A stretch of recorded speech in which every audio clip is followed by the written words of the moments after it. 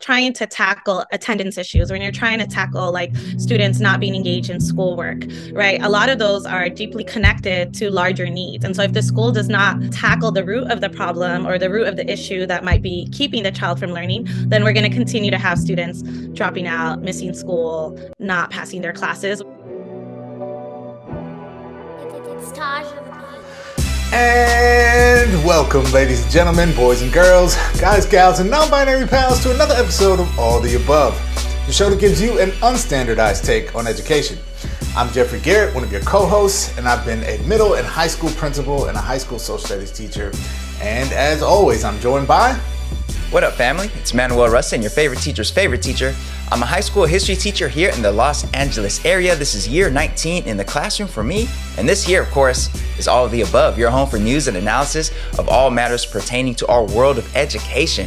We want to welcome everybody who's joining us for perhaps the second time because our last episode with Mimi Eisen of the Zinn Education Project um, really got into a lot of folks' feeds who we're new to all of the above. So shout out to the Zinn Education Project for boosting that conversation about Reconstruction and history standards and, and how we go about teaching a truthful history. And if you are new to all the above, do know that we love and appreciate you being here. And we hope you appreciate today's episode, which is for sure going to be a super dope one. Please remember to like and subscribe and hit us with those five stars and all that good stuff. Jeff, we are here now. November. November, we got midterm elections around the corner. We got Wakanda Forever around the corner. We have the World Cup starting. We got, you know, Thanksgiving week and all that good stuff. Jeff, what's what are you looking forward to this November?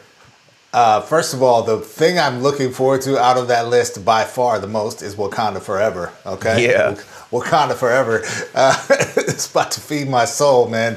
Much more so than these trash midterm elections.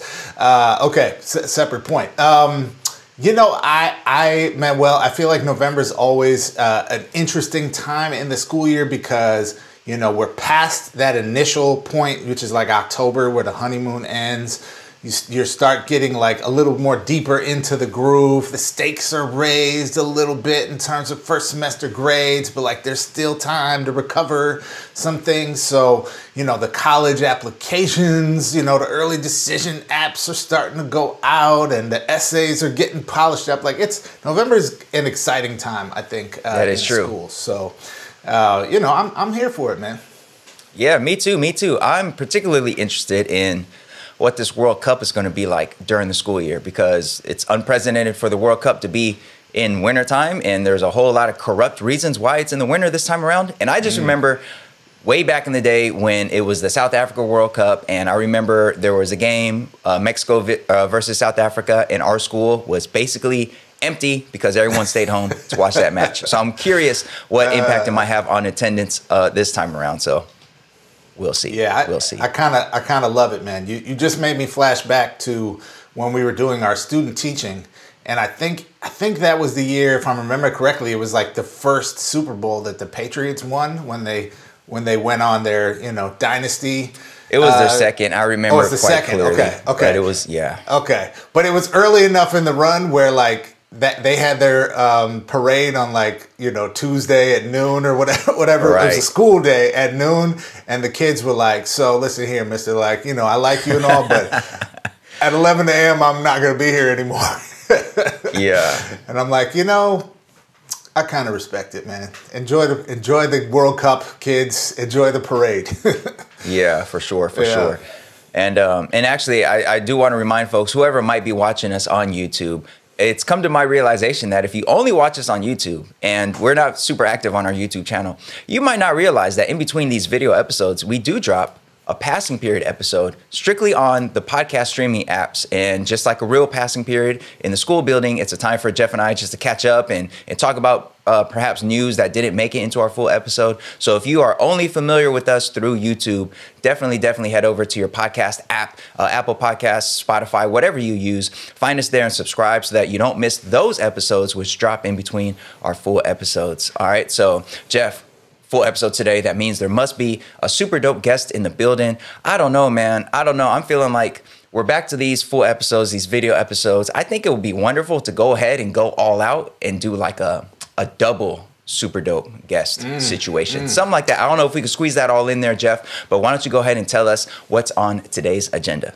Well, you are in luck, uh, Dr. Rustin, because today not only do we have one amazing dope guest, we got two, uh, and not okay. only has double dope, double dope, it, exactly, and not only has one of our dope guests previously been a guest on the show, but both have. We have uh, two amazing educators, Manuel, come to join us both. Uh, doing fantastic work at uh, Felicitas and Gonzalo Mendez High School uh, in Los Angeles Unified um, Principal Mauro Bautista and Community Schools Coordinator and Restorative Justice uh, Coordinator um, Emily Grijalva both of whom have previously joined us uh, in past years on the show, uh, Manuel, on different episodes. But today we're coming together like Voltron and we're going to go deep around one of the more exciting aspects of the work they do at their school, which is a community schools model.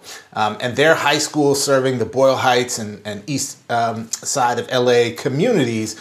Uh, is opening what will become uh, one of the district's largest wellness centers um, and is a school that has done a tremendous amount of work over the years to leverage community partners to provide a whole host of wraparound support services to students and families in service of the you know the many needs in, in the community. So um, we're going to get deep on this topic of community schools what community schools are what it means um, and perhaps get some pearls of wisdom from them uh, for folks who might be thinking about how to bring a community schools approach uh, to their district, their school site across the country. So it's going to be an interesting conversation. You definitely don't want to miss it.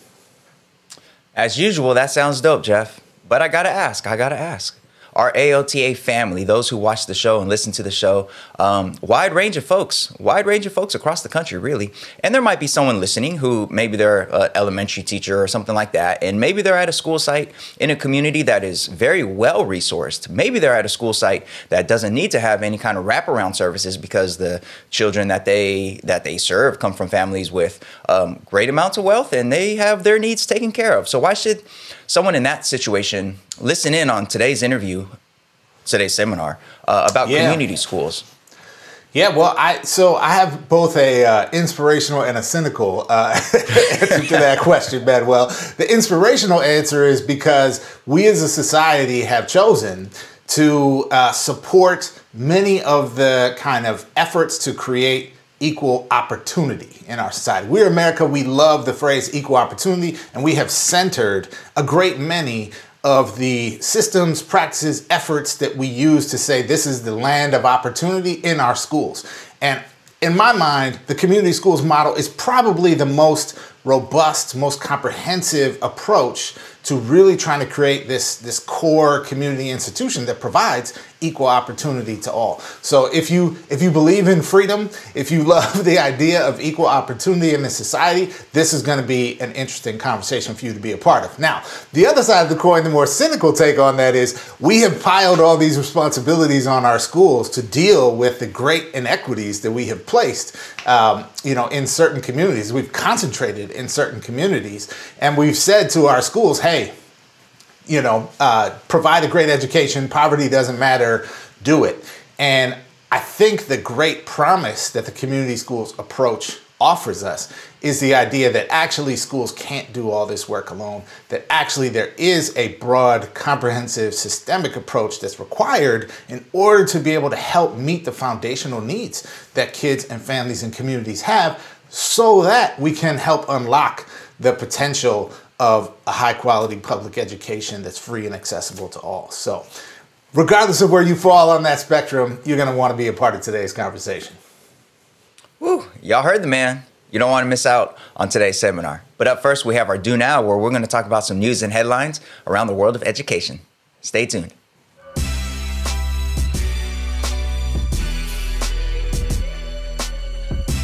All right, folks, now it's time for today's Do Now. Jeff, how are we going to do the do now today? Well, man, well, we uh, started the episode talking about it's November and there being some elevated stakes uh, in school around, you know, uh, first semester grades coming up and college applications. So, what would be more fitting, Manuel, for this moment than to issue a report card? We got some grades for you today. Some grades. All right. Let's see. Let's see. You know, grades are particularly important around this time of year for certain students um, because, you know, sometimes your ability to enjoy your Thanksgiving break or mm. your mm. your winter break sometimes is contingent on what that report card was looking like. So Jeff, our first grade for today's do now is actually actually an A. Love it. Love it. I'm feeling like yes, about to about to get that new you know Xbox game for Christmas, or you know about to get some some reward uh, at home. Um, feeling good about my performance, Manuel. All right. It's really about the learning, Jeff. It's not about that Xbox game or, or whatever. It's really about the learning. Uh, exactly. Yes. But in any case, yes. yes, today's A is for accountability. Mm. In this case, in this case, a district in California is being held accountable for its decision, its very uh, partisan decision to ban critical race theory. Yes, here in the great liberal wonderland of California.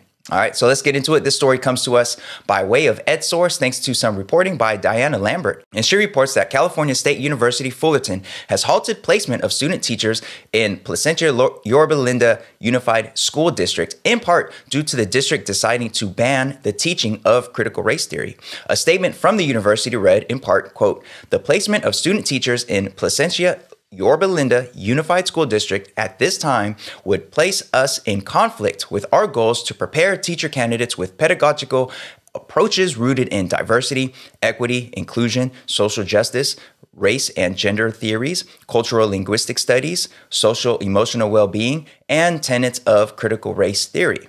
Now, the university had already started to scale back placements in the fall of 2022 after feedback from student teachers who said mentor teachers couldn't tell them whether they were allowed to teach curriculum related to ethnic and cultural differences. These are areas aligned with state standards for teacher preparation a lack of clarity around what can be taught in the district, the school board's resolution last April to ban critical race theory, and ongoing uncertainty as to whether ethnic studies can be taught in the district led the College of Education to pause placements for the rest of this school year. The university typically places 70 to 80 student teachers in this district. At the time of the announcement, that number had already been reduced to just six. So, Jeff, the school board, they voted no critical race theory in our district. And their local university said, well, all right, enough is enough. No more student teachers for you. Jeff, what's your reaction here? What are your thoughts about this? Uh, my first gut reaction, Manuel, was like, "Shoot, maybe I need to start paying more attention to what's going down with the uh, the student teacher uh, coming out of Cal State Fullerton, man, because uh, I love this, uh, yep. frankly. Now, I, I can imagine that in their immediate context and for them, there are more administrative, logistical concerns at play that might outweigh the sort of larger political uh, discussion here. But from from my sort of outside vantage point, I haven't worked with too many educators who came out of their program. Um, I work with a lot of folks. Uh, I guess more in sort of the central LA rooted institutions. Right. So like UCLA, USC, Cal State LA, uh, Cal State Dominguez Hills, and Cal State uh, Northridge. Uh, so I'm like, huh, maybe I need to see what's cracking out in Orange County with uh, with Cal State Fullerton, man, because uh, I so I think it is a principled stance rooted in like a real uh, problem that these districts are creating for themselves, which is uh, fundamentally rooted in the hypocrisy and the lies and the manipulation of these so-called, you know, efforts to prevent CRT. That what these actually are is like efforts at psychological warfare against kids and educators and presents educators with lots of impossible choices. Like, how can I both teach an honest history and not talk about controversial topics or not talk about how the United States has an overwhelming record of, of history of uh, both legal and extra legal, you know, racism, sexism, colonialism, you know, exploitation of labor, etc. Like these are just core elements of our nation's history and how we came to be the country that we are today. So to not teach about them is to lie uh, to the students. To say that these things can't be taught places teachers in the position of not being able to fulfill even the potentially unsatisfying mandates that come in most state standards around just the basic teaching of history. And so I love that they, you know, that they issued this kind of ultimatum and withdrew their uh, their teacher candidates uh, from this district. And Manuel, I particularly love it because I am sure their, their district may not be suffering to the same extent that other districts are. I don't know. But we are all existing in an environment where there is a teacher shortage. And so to remove student yeah, yeah. teacher candidates, you know, if a couple of years ago they had 60 or 70 candidates placed in their district, you can bet that the majority of those folks wound up seeking positions in their district. And so this is going to be a potential uh, cutoff of a major pipeline. It's not like there's just universities everywhere churning out teacher candidates, right? Yeah, like if one yeah. of the major state universities cuts off their pipeline to you in this way, you're at a significant disadvantage in terms of hiring. And maybe this is a lever that we can pull to to have some consequence for these districts that are doing these hateful, racist, evil policies. Yeah, no, I, I, agree. I agree. I, I, love that the way you put it right there. Perhaps this is a lever we could pull. I think this shows that you know as we scramble to figure out how do we respond to these these ongoing attacks on our curriculum and, and these bills coming across all over the place. Even here in California, of course, this is a board resolution, a local school board resolution, um, not not something coming out of the legislature. But as we scramble to figure out what's the right response, boom, here we go. Here's a lever that that can work in a lot of places. If a school district is not allowing its teachers to use utilize tenets of critical race theory or anything that might be construed as critical race theory, then as a university, why would you want to place student teachers there? Why would you want your student teachers to have to tiptoe around some basics of, of their teacher preparation and and not really know what they can say or can't say or what they can teach and can't teach? Why would you even want to do that? Go ahead and pull them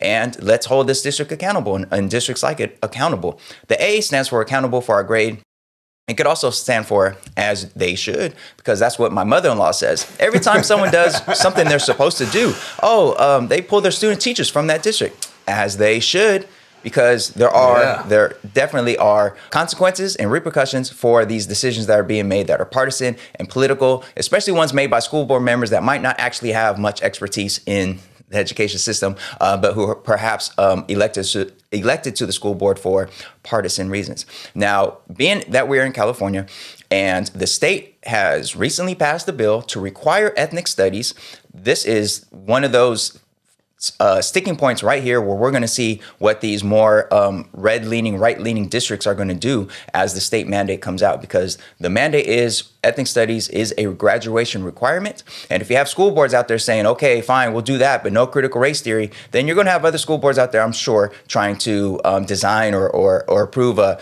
uh, some version of ethnic studies that's not ethnic studies at all. And Cal State Fullerton looks to be one of the first cases of holding those districts accountable and pulling their student teachers. I'm looking for the University of California system to hopefully follow suit. And there's discussion about uh, admission requirement for the UCs to be a course in ethnic studies. So that's another lever lever that can be pulled. If you want your students to be elevated or accepted into UCLA and UC Berkeley and UC Riverside and these other places, they better have had some expertise or some background, some some learning in ethnic studies, including some of the tenets of critical race theory. Otherwise, we ain't going to accept them. So, yeah, I'm all for it.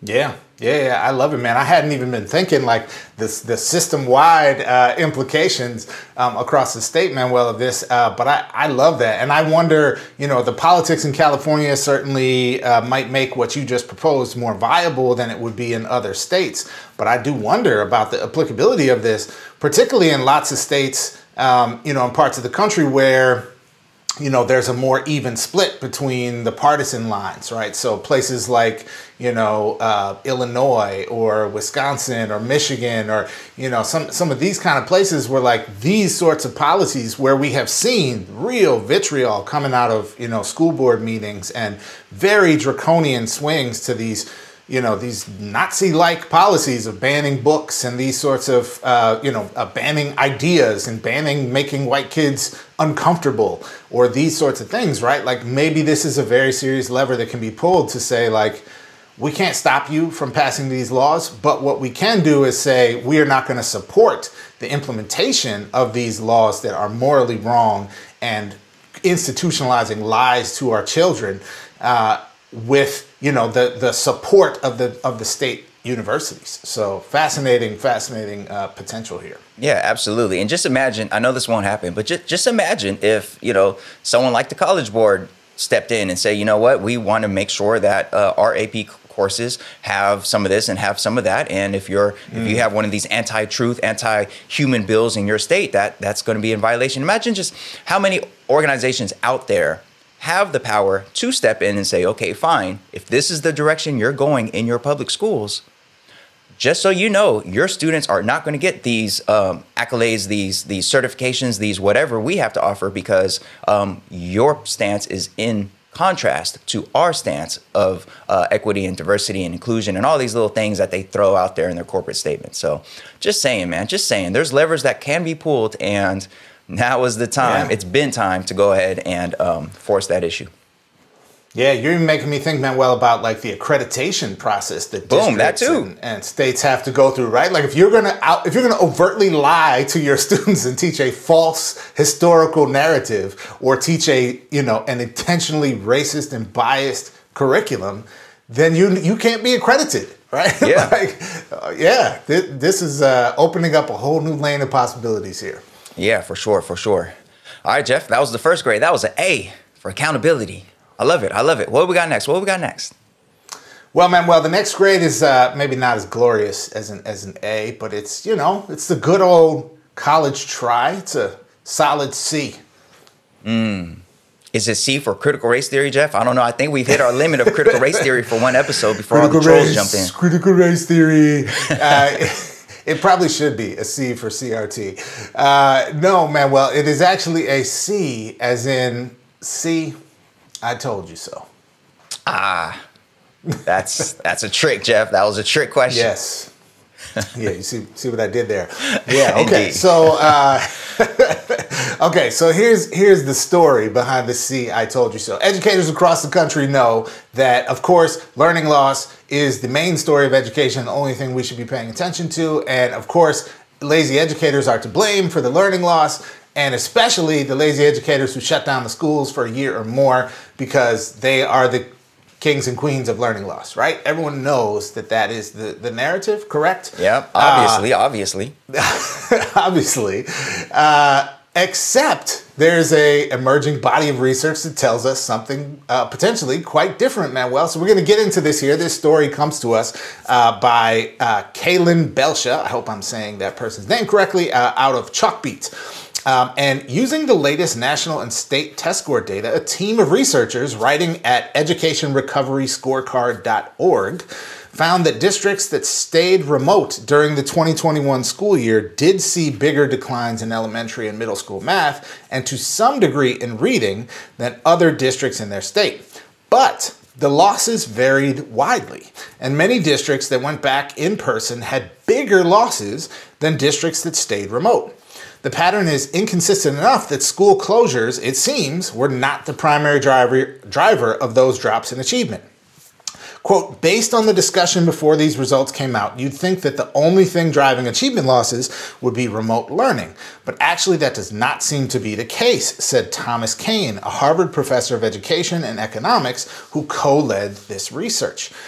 I was really surprised by these results, he said.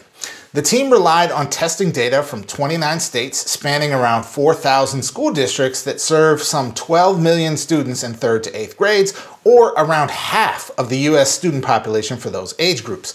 The research team also found that high poverty districts suffered greater academic losses, offering a more sobering picture than the National uh, uh, Assessment of Educational Pro Progress, excuse me, the NAEP results did, and echoing some earlier pandemic research. The differences in lost learning between low and high poverty districts weren't large, but were noteworthy, particularly in math. The trend held for reading as well, though the differences were smaller.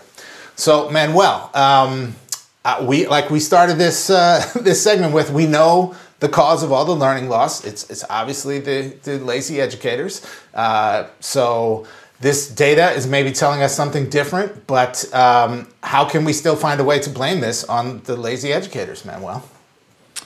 Well, you know, I'm sure whoever collected this data was themselves an educator or someone on the woke woke left who's trying to pass this fake news, thinking these numbers and statistics, thinking science is going to prove their point. We know better than to trust numbers and data, Jeff. But Mm, yes. yeah. No, in all seriousness, obviously, like, see, we we told you so. Like, there are so many people saying it's just waiting, just waiting for test scores to come out so they could be like, look, look, look, y'all closed the schools and look what it did. Look what it did. Um, first of all, schools were never closed. Of course, the physical campuses were um, because it was a pandemic. Um, but yeah, there's people waiting and waiting for scores to come out. And as soon as scores start coming out, they're like, we told, we told you, we told you, uh, closing the schools. Look, look what you done. Look what you done.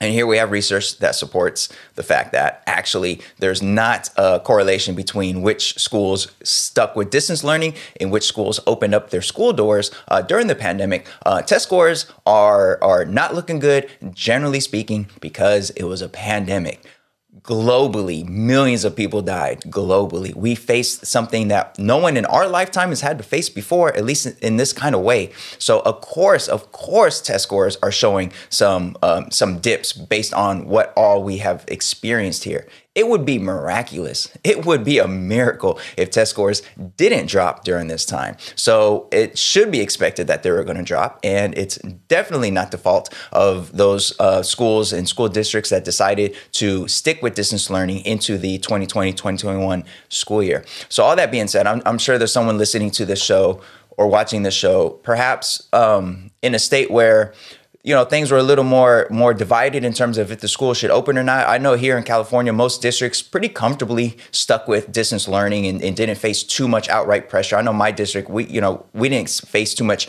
outright pressure to open up the school doors. Um, our families wanted to keep their children home during this pandemic. But in any case, there's someone listening or someone watching who perhaps was in an area where they were facing real pressure to open their classrooms up and they stuck with it with the distance learning, they stuck with what they knew was best, which was keeping people safe. And they've probably been questioning themselves ever since. And I think this research here um, can help reassure those of you who had to make that difficult decision to continue with distance learning.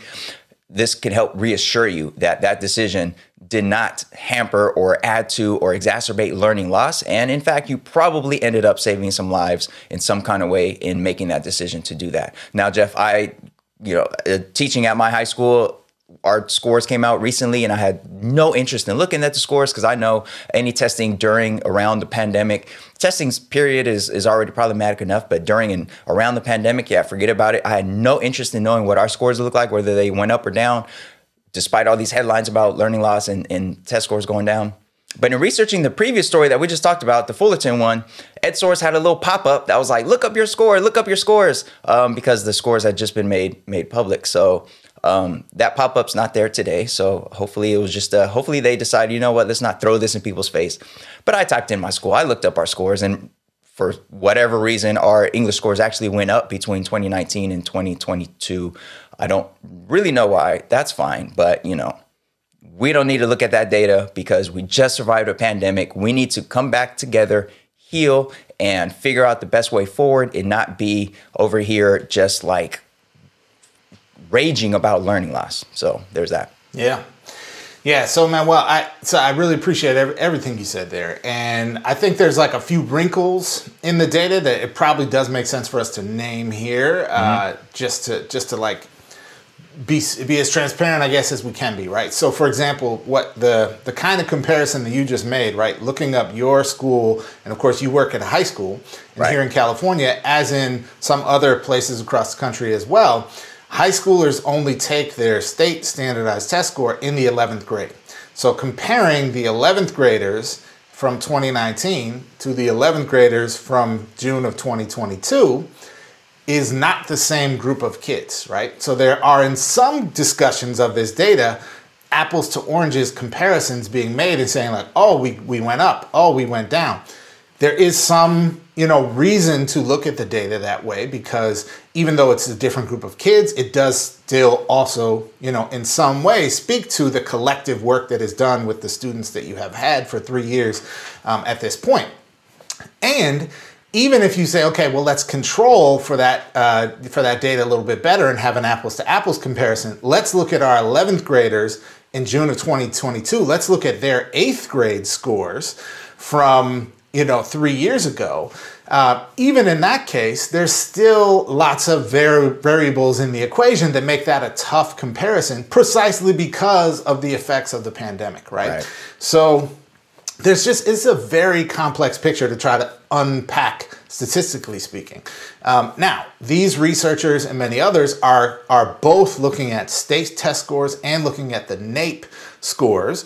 Um, they're not exactly, uh, you know, it's not the same assessment. They're not necessarily assessing the same grades of kids and not using the same methods of assessment, uh, but does offer us some, you know, holistic picture. And I think an important takeaway from this to note, Manuel, is that the data is complex enough to to tell us to pause on the broad sweeping generalizations that say, oh, because we went to remote learning, therefore learning dipped across the board, right? Um, or, you know, because uh, teachers were ineffective at remote learning teaching, therefore, you know, learning loss happened, right? Like the picture is much more uh, nuanced than that. And I think it's it is both important that we recognize that and acknowledge that and start to shift some of our discourse around this topic, and also for us to say, and and I got to give credit to. Um, Jose Vilson, who uh, I saw tweeted something about this this uh, this morning. This is uh, uh October 28th, if or what is it, 28th, 29th? Man, it's sometime at the end of October. I don't know when you were going to be watching or listening to this episode, but um, as of the morning of filming, he tweeted this out um, you know, an article talking about this issue and saying like, where's the apology coming to the educators who you know fought hard to protect students and families by staying, by moving to or staying in remote learning during some of the more um, horrific moments of the pandemic where transmission was high, where we perhaps didn't yet have vaccines, and people were literally getting desperately ill and dying. Um, and and of course that apology is not coming uh, to educators. Of course the credit is not coming to educators, to unions, to community activists who said, you know what, maybe what we need to do is go to remote learning right now, despite the fact that everyone knows that remote learning in aggregate was nowhere near as good as in-person instruction. We don't think the risk of sickness and death outweighs the you know these short-term immediate benefits, man. So um, I you know I'm glad that this more nuanced picture of the data is coming out, and I think there's probably a few more layers of nuance we need to unpack to actually try to understand what happened and sort of make sense of it. And maybe this should inform us as we move forward and potentially face other threats like this in the future.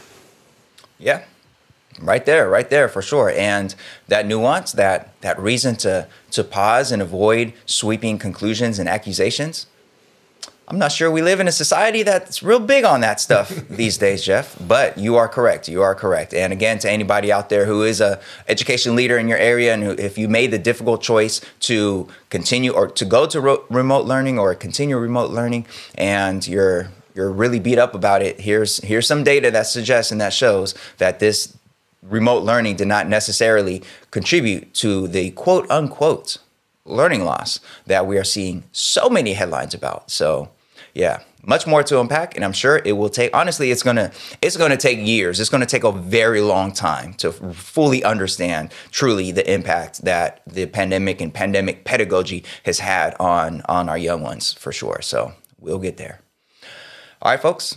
That's it for today's Do Now took a look at some headlines around the world of education, including bans on critical race theory, districts held accountable for that, and um, new data around so called learning loss amid the pandemic. So stick up, uh, stick up, stick. Stick with us, stick with us for our next segment, um, our seminar where we will discuss this concept of community schooling. That's coming up next. Stay tuned.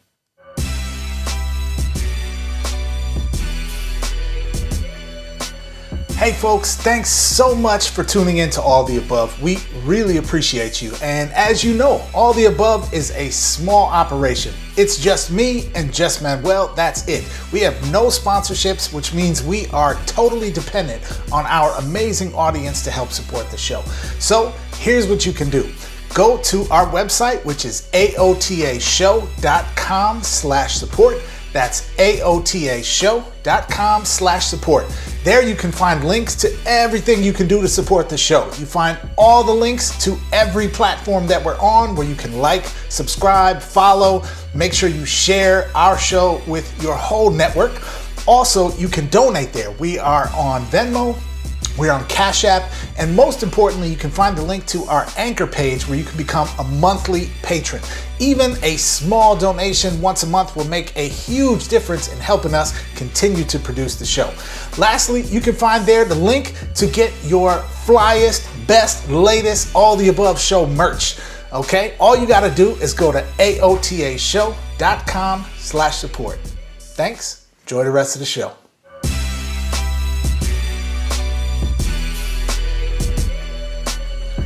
All right, folks, welcome to today's seminar. Thanks so much for joining us. And we are super excited to have you here with us for a conversation that I think is going to be fascinating. Um, now, I have to say, on the front end, uh, in the beginning of the episode, we mentioned we were going to have double dopeness in the building today. Two amazing guests. Unfortunately, one of our guests is unable to join us today, uh, but no fear because we have the incredible, the wonderful Emily Grijalva, Community Schools Coordinator from Felicitas and Gonzalo Mendez High School in Boyle Heights here in Los Angeles, who is with us today, who's going to bring all the knowledge, all the amazing uh, skills and talents to the table for our conversation. Uh, so, Emily, welcome back to All the Above. Thank you. I'm glad to be here. Yeah, okay, folks, let me tell you a little bit more about today's wonderful guest. Um, Emily Grijalva is the community school coordinator and sponsor of the GSA at Felicitas and Gonzalo Mendez High School in Los Angeles. She taught English for 12 years, where her pedagogy was rooted in social justice and love. Emily received the United Way's Inspirational Teacher Award, Award in 2014 was recognized in 2016 by the Obama administration's White House Initiative on Educational Excellence for Hispanics and won the Partnership for Los Angeles Schools Courageous Teacher Award in 2017. She's earned her master's degree from UCLA and is currently pursuing her PhD at Claremont Graduate University with a focus on equity in K 12 education. Um, Emily, thanks so much for joining us again, and I'm going to kick it over to Manuel for our first question. Yeah. Community dopeness in the building. Emily, thank you so much for taking time out to be here with us again on all of the above. Uh, we very much appreciate you taking time out to be here. And we're here to talk about community schools. And community schools, that's one of those terms that gets used a lot in education, especially nowadays. Um, but oftentimes it's um, pretty misunderstood or people use it in different ways and have different understandings or definitions of what a community school even is. So how about we start by um, having you explain a little bit about within your context, um, what is a community school and why is that important? Yeah, thank you um, for having me once more. I love talking about community schools. Um, I also want to start off by acknowledging first that really the community school um, model is not something new. It's something that's been used constantly in social justice movements, right? When you think about the Black Panthers with the freedom schools, free breakfast programs, and clinics, when you think of the Zapatistas and their caracoles, um, and a lot of indigenous um, communities have had this idea, right? Where it's really about that the community knows what's best for the community and they're wanting to provide it by supporting the youth in the community and their families. Um, and then, as far as Mendez High School in Boyle Heights, right, we have a rich history of community organizing, the Chicano walkouts, right, where students knew exactly what they wanted in their education in the 60s. Um, and you have the East, the Mothers of East LA organizing to stop a prison being built in Boyle Heights and instead allotting resources to like schools and also being very um, involved in trying to stop gang violence without necessarily criminalizing youth. You have Father Boyle, Homeboy Industries, right? Where the idea that if we're able to provide jobs, services, resources, um, that's exactly what our community needs. And they don't need to be criminalized and they don't need to be disposed of. And a lot of that was creating, right, job services. Um, Dolores Mission, the church that he started, um, still to this day, um, house uh, immigrant men at, in the evening and provide all sorts of services. So I start off by saying all those examples, right? Because that's exactly what a community school. It is truly looking at what does the community already bring? What are already the resources, the resiliency, really tapping into all of that knowledge that the community already has and making sure that students, families can access it. And then if there is an actual need that maybe there isn't a resource in the community, we're going to go out and look for it and bring it in. But it's so important that it's not wraparound services, it's not coming in at a deficit or savior lens. It's really uplifting what the community already has, what the community community wants and creating this kind of like seamless connection between school and community like they can't exist without the other hmm.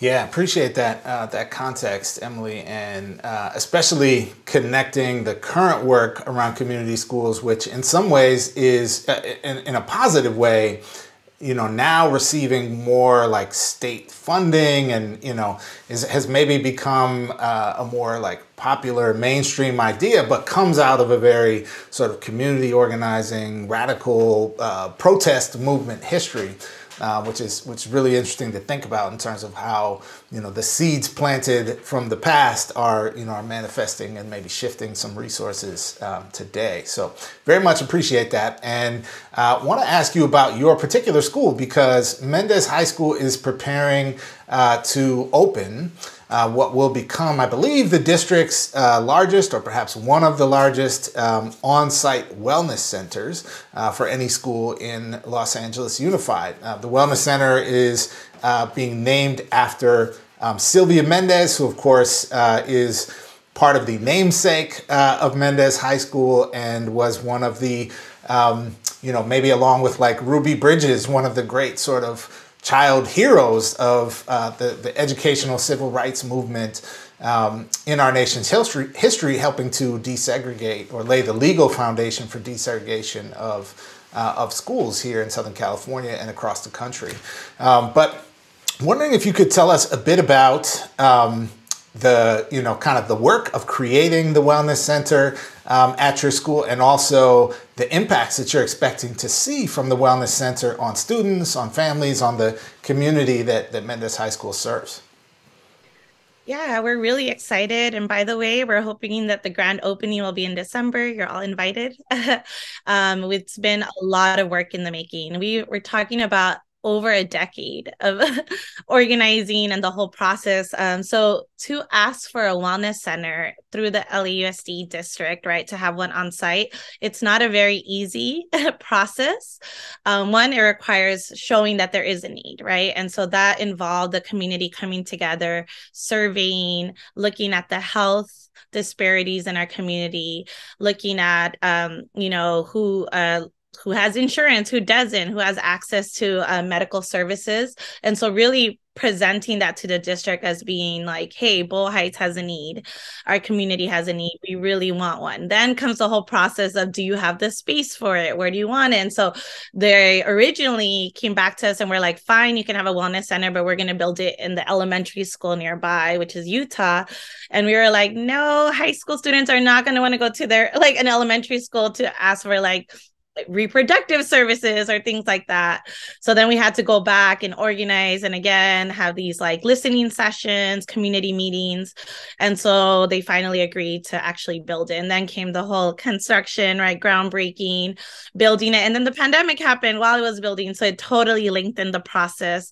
Um, you know, we feel like we are constantly having to change when the um the wellness center is going to open but they finally finished construction they handed the keys to st john's who is our uh, medical provider um, and who's been bringing a mobile clinic for years now at Mendez High School. Um, and so they're furnishing it, getting it ready. And so what we're going to have is access to medical doctors, um, an eye doctor, dentist, and therapy. Um, so we're really excited. And the way that it's built, right, there's a public entrance so the community can make appointments and attend. And then there's a private school entrance for our students. So they'll be able to make appointments as well. They'll, they each have their own lobby for just student privacy. Um, and then also, I think it's really going to support um, our nurse. Our nurse is amazing, by the way. Shout out to Nurse Song, who's been in the front line, especially now during the pandemic. He is constantly seeing, seeing students, and we're very blessed that we've had a full time nurse since the school opened and it's been Nurse Song. And so he's going to get a chance to refer students to the Wellness Center um, the social worker and myself will refer to students for mental health needs. Um, and so we're really looking forward to students having access to, I mean, we all know, right? If they have a stomach ache, a headache, they need eyewear, um, they're maybe dealing with some traumatic events. If they don't get that support, it's really hard for them to focus on school. And so we're hoping to alleviate some of those stressors and provide those services to students and families. I love that. I love that picture you just painted of this wellness center, and I certainly would love to be there uh, when it opens up this December. Now, the school that I teach at, we we have a, a wellness center, but it's it's a bit smaller and it's uh, much more limited to uh, mental health and mental wellness um, services, um, as opposed to the the one that you will be opening up this December. And you know, I can't imagine anybody out there would have a problem with anything like this or arguments against anything like this because the need is so great, um, especially in our most marginalized communities. But there certainly are going to be folks who say, well, you know, the business of school is really teaching and learning, and it's already a problem that schools are expected to address or solve some of these issues in society, such as poverty, um, that have a, a lot less to do with actual teaching and learning. And some will say perhaps wellness centers and community schools just divert resources and divert attention from the core business of school, which is teaching and learning. So, uh, what is what are your thoughts on on those arguments that community schooling as a model um, diverts us from the focus of school, which is traditionally teaching and learning? Yeah, I think for a long time, right, we had that mentality that when the students walk in to the classroom door, all their you know emotional needs physical needs are just kind of left at the door and we can just focus on reading writing and math right? Um, but i know that there's been since then so many um, re- uh, like research done around you know the tra- how trauma impacts students ability to learn physical health impacts students ability to learn um, not having basic needs impacts students ability to learn.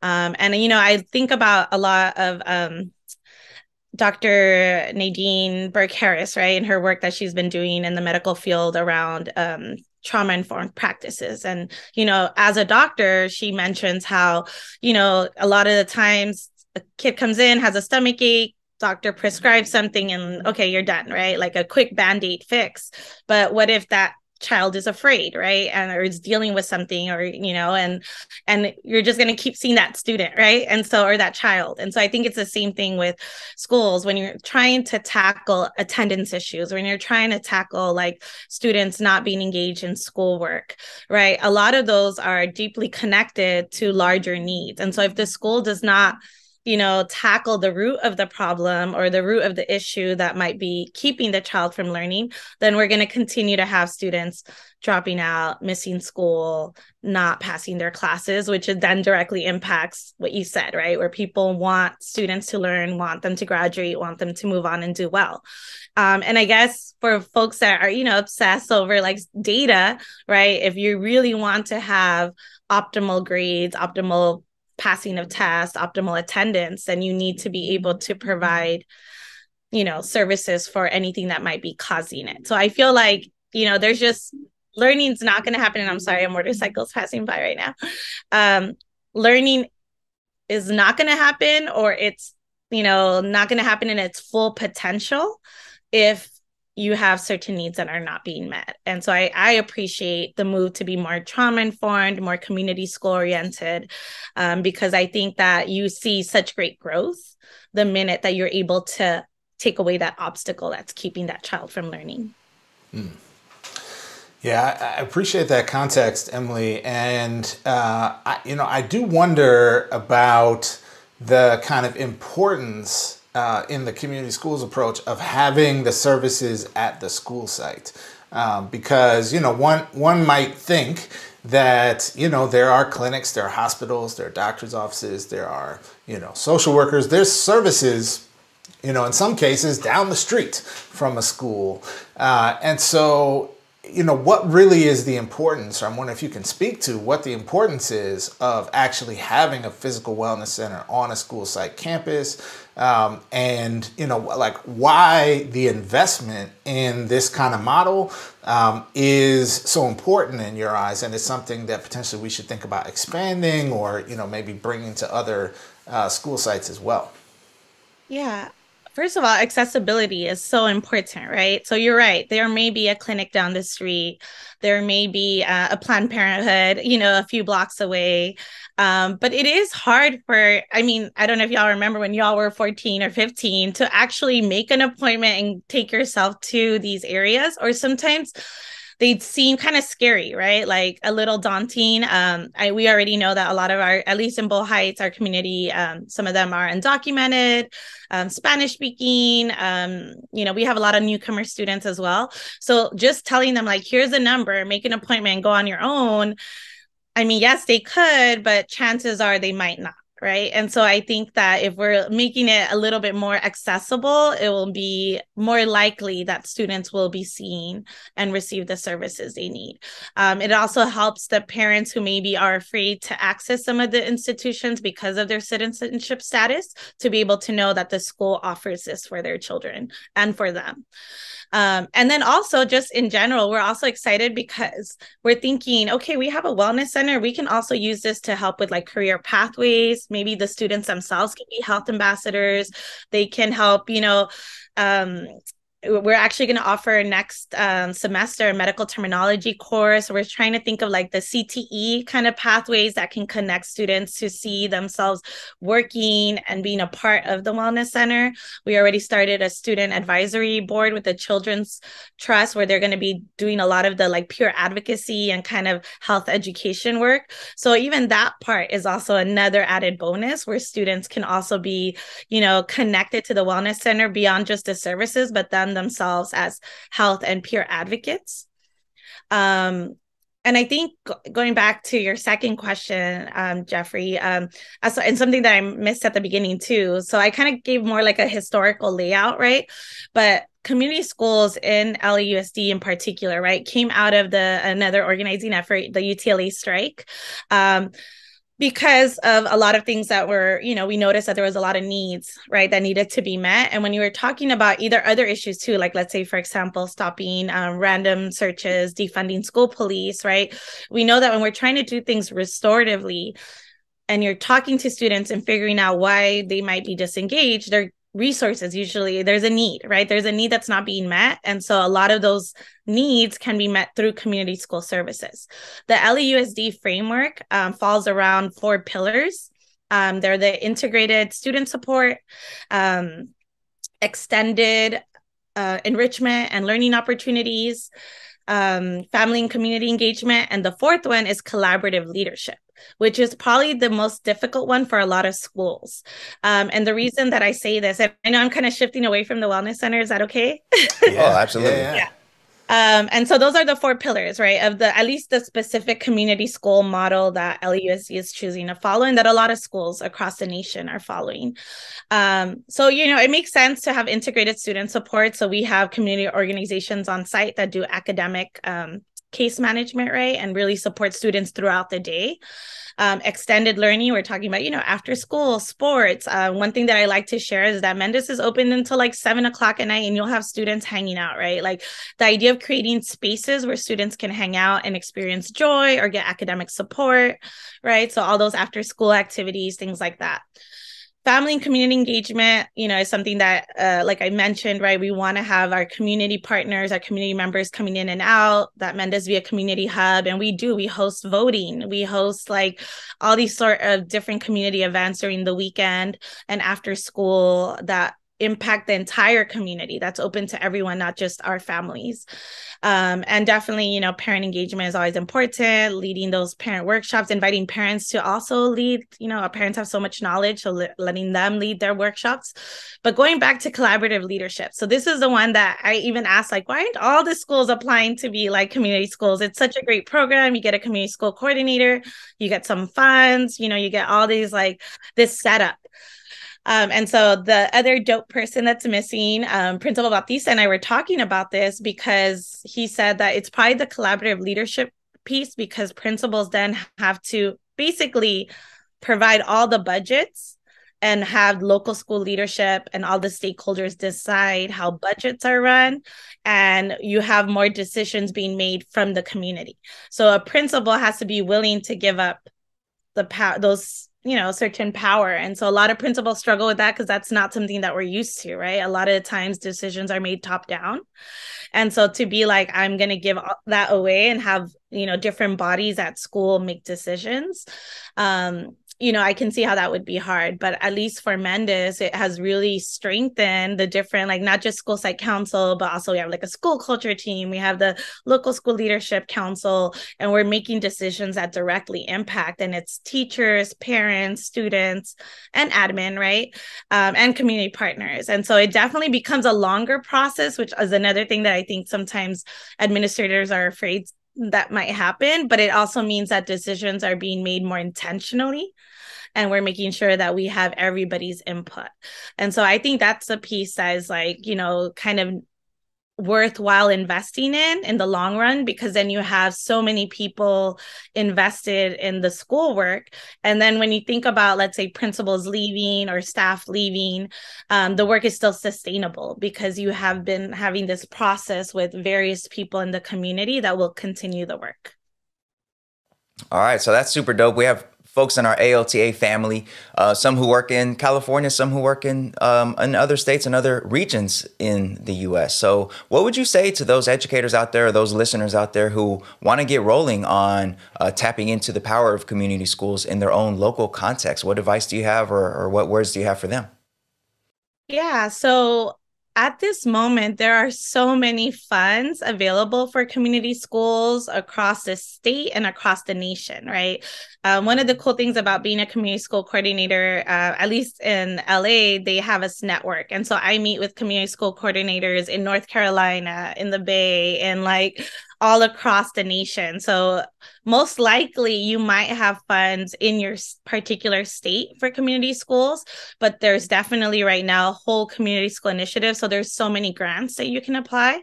So I would say to one, research to see if maybe your state or city has you know maybe a program already or like trying or has a grant particular to your area if not then i would start you know gathering folks a team right um, to try to figure out how you can go ahead and start creating that process right? And so one of the neat things about uh, community schools is that you there's always like surveying needs and assessment right? What are the resources that our community needs um, that our students need? And you can start off by maybe just asking the students right?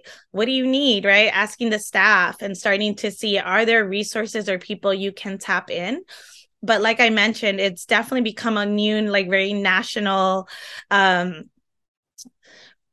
just I, I feel like there's just so many people that want community schools in their community and i think the ideal goal is to make most schools across the nation community schools.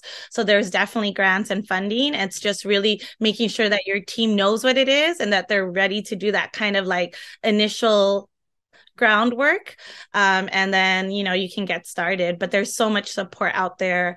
Um, i know for LAUSD we're uh, tapping into the national education association nea they have a whole curriculum a framework. They offer us coaching. So there's definitely a lot of services that are nationwide that different um, districts can tap into to start that process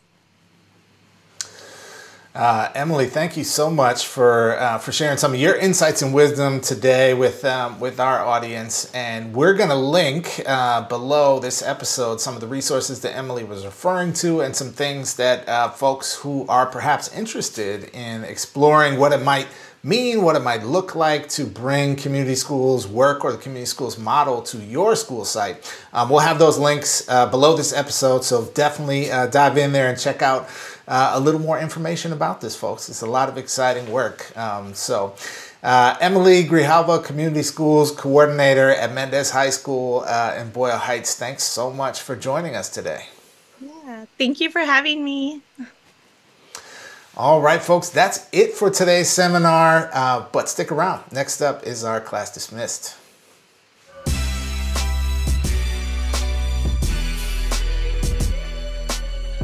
All right, folks, we have come to that point in the episode where we like to give shout outs to folks doing wonderful things in the world of education. We call this Class Dismissed. Jeff, what do we have for today?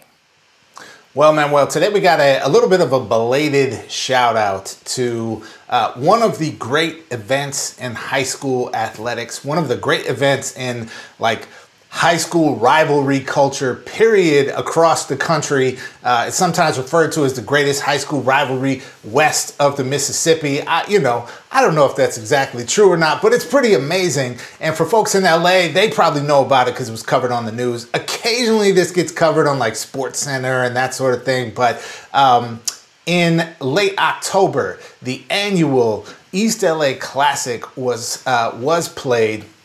It is the biggest high school football rivalry in the city of LA, um, dating back decades and decades. Theodore Roosevelt High School versus Garfield High School. Uh, for folks who maybe are like, I'm not sure how to make a connection to that, uh, you know, Theodore Roosevelt High School, legendary historic high school, one of the epicenters of the 1968 um, blowouts, um, huge amounts of uh, of Chicano and Latinx civil rights organizing emanating from that school over the decades. Garfield High School, home of the uh, the great Jaime Escalante. Um, you know, folks who maybe have seen the movie Stand and Deliver before, like this is the community that we're talking about. Okay, um, Boyle Heights versus East LA, and this year the classic was played at the LA Coliseum, home football stadium for USC, um, and it featured not only a great game, great competition, a lot of rivalry and friendly love in the from the east side of LA, but also halftime show by will.i.am and the Black Eyed Peas. will.i.am grew up in Boyle Heights um, and really just showing up to give back to the community. The um, halftime show featured an amazing production of some of their hits, featuring the high school bands from both schools featuring like Grammy level production. So they had the drones with the that like you know spell out the logos and different oh, words oh, in the sky. Like yeah, it was pretty dope, man. So um, so I just want to say a huge shout out to the Roosevelt High School community. Go Riders! Even though unfortunately they lost this year, uh, but shout out to all the uh, the Rough Riders in the Roosevelt community, and of course shout out to Garfield as well. Um, and a big shout out to will.i.am the Black Eyed Peas for showing up and, and really making an amazing experience for a whole set of young people um, to you know to have this just incredible moment um, and the stage as they so deserve. So um, big shout out to the East LA Classic 2022. I love it. I love it. And you know I can't let you say all that without pointing out the city of Pasadena and its rivalry, which is also historic between John Muir High School, which is where I teach. John Muir High School, we have such famous alums as Jackie Robinson and uh, Octavia Butler, MacArthur genius, and um, Rodney King, and a whole bunch of other really historic folks. And our rival, Pasadena High School, home of General Patton. I, I believe he went there. They're pretty lame. John Muir High School, John Muir High School, for a very long time has been in charge of that rivalry, which is played in the Rose Bowl, home of the UCLA Bruins and um, home of a whole bunch of famous events in the past. Of course, this year did not go John Muir's way. It did not go John Muir's way. I blame the ongoing impacts of the pandemic and us just trying to, you know, just trying to get our footing right. But we'll be back next year. So shout out to all the Mustangs out there. And also shout out to the Pasadena High School Bulldogs or whatever. So yeah. All right, folks, that about does it for this episode of all the above. We very much appreciate you hanging in there, especially those y'all that hung in there all the way to the very end of this episode and are still with us here for these shout outs during our class dismissed. Very much love and appreciate you. We hope you take a moment to go ahead and give us that thumbs up or that five star. And if you're listened to this whole episode, please go ahead and check the links underneath uh, in the episode notes and head over to that YouTube video just to give a quick thumbs up because that helps us with the algorithms and all that for those um, who are out there who might discover us on YouTube. So very much appreciate y'all. Remember, AOTAShow.com for all the previous episodes and all that good stuff. All right, we'll see y'all next time.